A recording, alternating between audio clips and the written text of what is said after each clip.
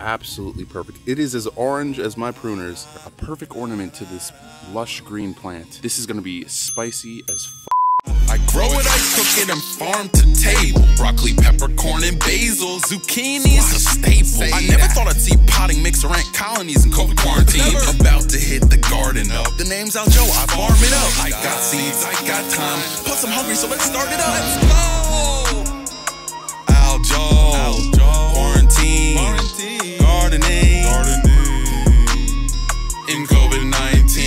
During a time of such uncertainty and anxiety, it is so important to have a purpose in your daily life. You can take control of your diet, get in touch with your human roots, and create your own solution to food insecurity. Make the best of this quarantine by growing what you eat.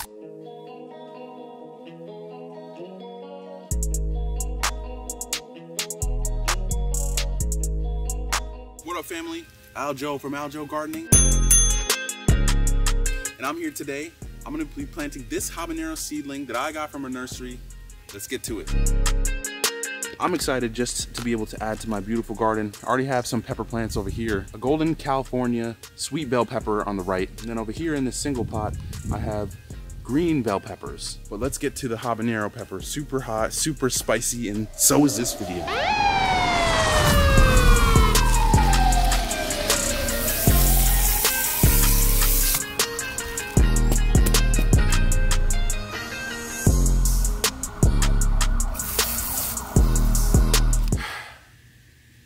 So I got this giant bale of hay. I'm gonna use this as an organic mulch because I'm gonna put it on top uh, just to prevent any bugs from getting to the dirt. I mean, as much as it can. And then it will also allow for the moisture to be retained a little bit better inside the pot.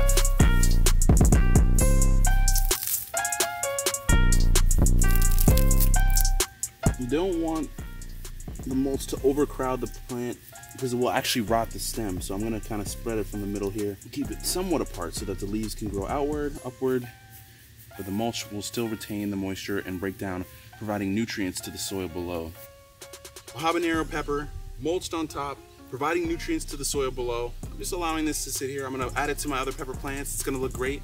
Uh, one tip, uh, this stuff, this hay bale here, I actually got a splinter when I was using my bare hands. I just grabbed it like this. Ah, I even got a, so just keep that in mind when you mulch with straw. So let's go add it to my other plants.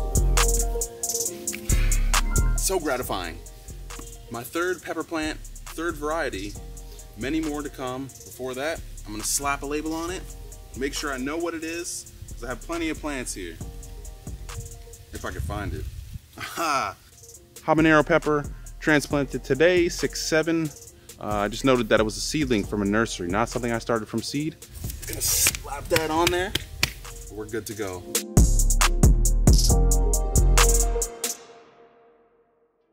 Welcome back to my garden. It is July 3rd. This is the habanero pepper. I planted it on June 7th, so it's been almost a month. And I mean, this thing is almost tripled in size from what it used to be. One stem, this was just, oh shit. It's all good. It's all good. It's just one initial plant and these stems that were initially just leaves have branched out. I've been using a liquid fertilizer every week just for the only this week and last week because I wanted to allow it to, to settle in the pot, so didn't want to shock it the first week I planted it. Beautiful flowers already coming out after almost four weeks. I do spot a couple holes in the leaves. I'm not sure what exactly is feeding on this. Still haven't been able to find the culprit, but that's not an issue because clearly it's not affecting the production of the buds. But the habanero still continues to thrive to find a way, and I just, I can't wait for the harvest a month and a half later, and look at this habanero pepper plant. The progress. You can actually see one pepper starting to form. Look at this. So it's gonna get a little bit bigger than this. Love the shape. It's gonna change colors. And look how many other blossoms there are. I mean, if these all turn to peppers, I'm gonna have way too many habaneros. But I did have a bit of a setback. You see above this pepper? this stump here, this little looks like something took it off. There's another one. So it literally got eaten like this. This is why it looks lopsided. You know, one of my uncles, he does some gardening and he told me that this was the sign of a deer. Seven weeks later after planting the seedling of the habanero pepper. And look at how small this this pot is compared to how big it's become. We had a minor setback. The deer took off this side, but this is growing wonderfully after seven weeks. And look at this. I mean, this looks exceptional. Right next to it, another one. Ooh, I'm excited to get into these. And look how many buds there are coming up. This thing is huge, Nicole. Look at this plant.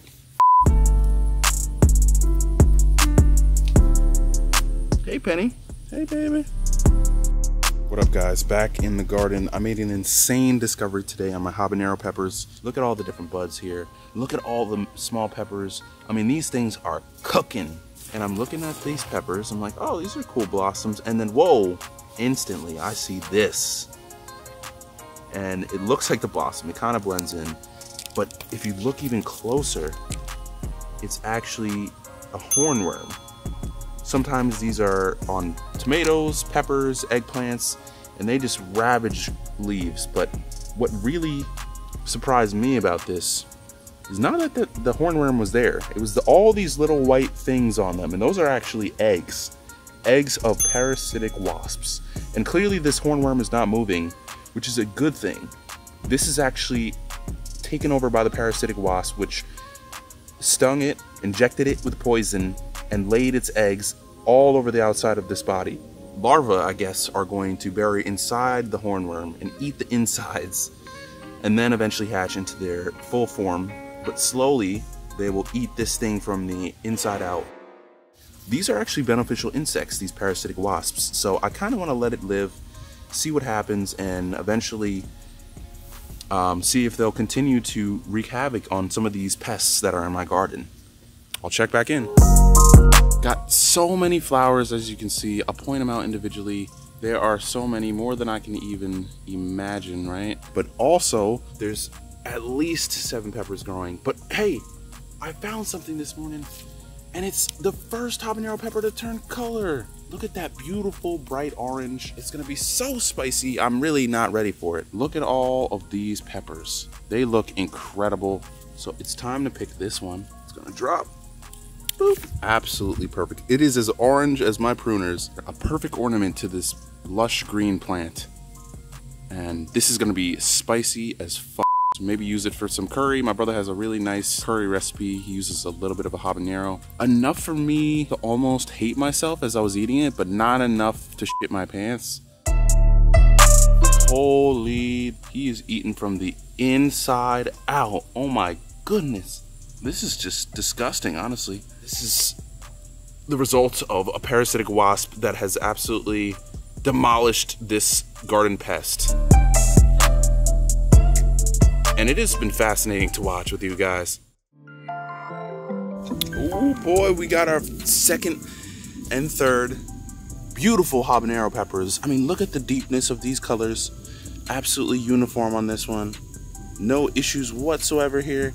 Plenty more to come. I mean, look at how many blossoms there are, and look at how many new peppers are going to be forming. Let's grab some of these abundant peppers. I would take a bite out of it, but I'm not trying to kill myself, so we're just going to enjoy it at a later date. The habanero continued to flourish after four months, even as the temperatures dropped. So you should drop a like and subscribe for more of my quarantine journey.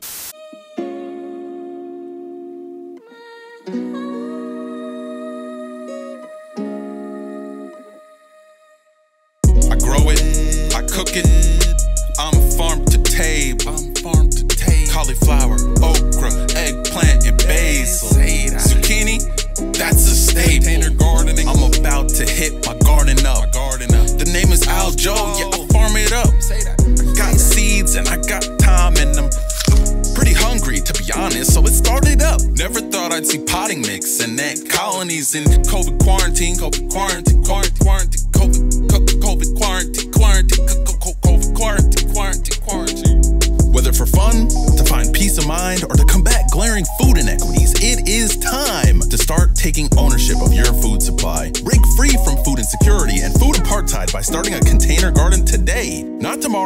not next week, All right, fine. You can start on the weekend. I get it. You're busy with other stuff. But start growing ASAP, ASAP. because you'll never find a hobby as mentally gratifying and stomach filling as gardening is. It takes less than 30 minutes a day and saves lots of cash in the long term. Join me in uplifting yourself, your family, and our community for generations to come.